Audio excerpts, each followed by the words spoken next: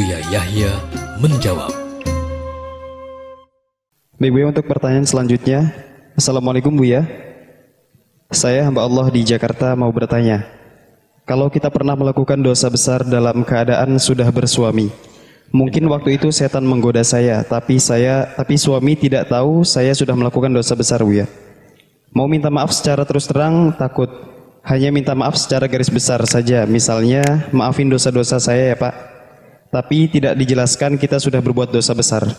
Kalau mau berkata jujur takut suami marah. Jadi rahasia itu disimpan sampai suami meninggal.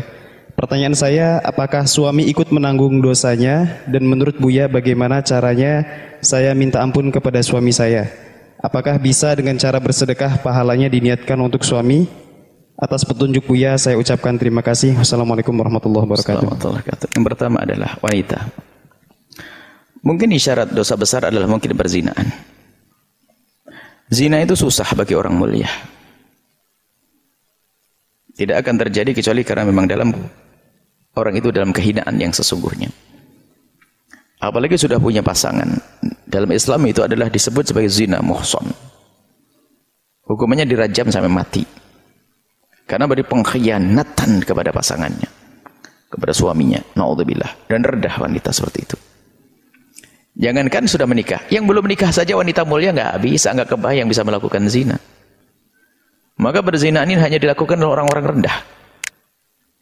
Wanita Arab waktu itu kafir, belum beriman.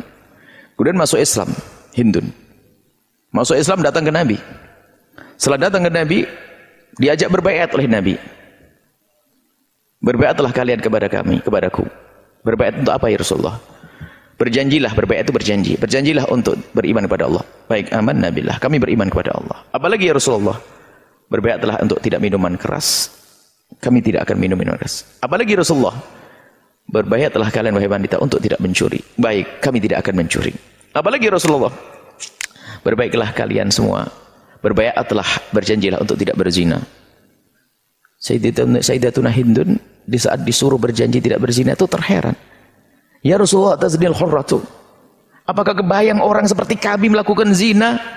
Kok harus berjanji tidak berzina? Enggak terima diajak begitu. Karena wanita mulia enggak susah melakukan zina. Nah, ini biarpun tidak punya pasangan, dia takut kemuliaan sebelum kenal Allah. Kemuliaan dirinya enggak mau direndahkan oleh kaum pria. Enggak mau direndahkan. Baik. Kemudian lah ini sudah punya suami naudzubillah. Rendah wanita semacam itu. Kalau tidak segera tobat kehinaan sepanjang masa di akhirat nanti. Kehinaan dan kehinaan. Tapi Allah Maha luas dengan pengampunannya. Ini sengaja kami sampaikan lebih dahulu agar waspada naudzubillah. Kadang begitulah.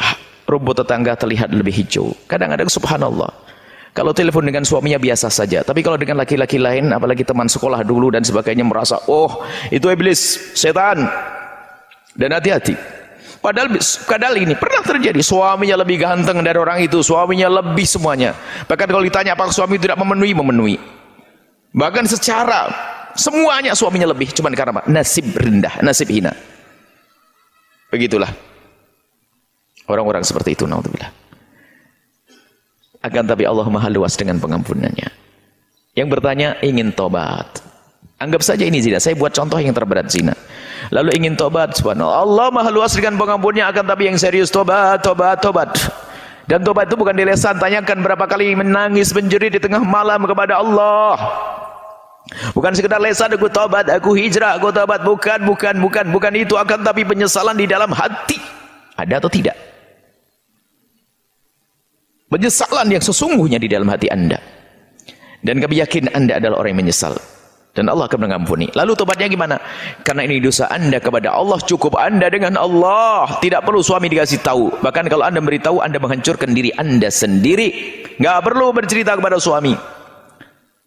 Saya kan juga dosa kepada suami. Tidak, itu dosa kepada Allah.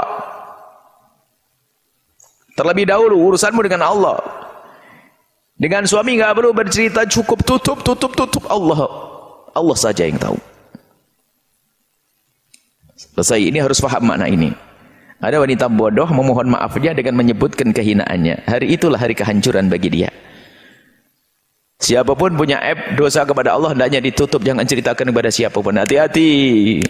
Manusia susah memaafkan. Manusia hanya bisa mandang rendah saja. Hati-hati.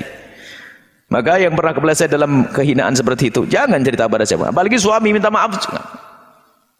Istighfar kepada Allah, dan meniat mengabdi kepada suami lebih, layani lebih, tanda tobat. Selesai. Enggak usah bercerita kepada suami. Dan jangan bodoh. Ada sebuah Pernah terjadi seorang istri bercerita kepada suami hari itu hari dicerai.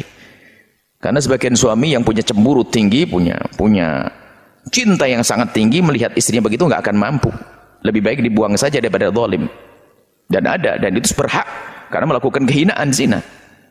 Kecuali kalau laki-laki yang the youth nggak punya cemburu dan sebagainya sudah tahu istrinya melakukan kehinaan masih saja. Ini karena kebodohannya. Ada.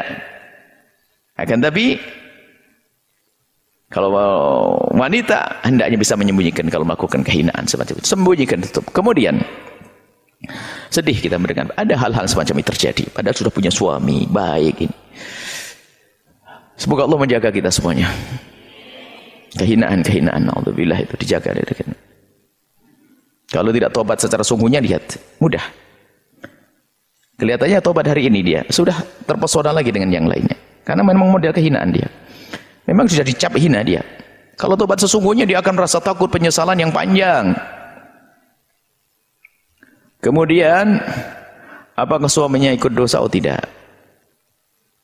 Karena suaminya mungkin sudah mendidik yang benar. Hanya perempuannya aja nggak baik, tinggal tobat secara sungguhnya, nggak usah cerita ke suami.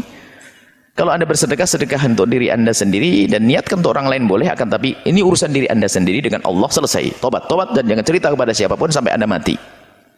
Semoga panjang umur semuanya dan diberi kesempatan tobat. Itu saja. Jadi ingat, ini adalah dosa kehinaan luar biasa. Cuman ingat, yang pernah kepleset dalam zina, Allah Maha Pengampun. Segeralah menuju pintu pengampunan Allah, jangan menunda, menunda, menunda. Hadirkan penyesalan yang sesungguhnya, hadirkan sebab-sebab terjerumus. Segala kenangan-kenangan yang membawa Anda dalam kehinaan hapus semuanya, hancurkan semuanya. Hindari demi kemuliaan di dunia dan di akhirat wallahu a'lam bissawab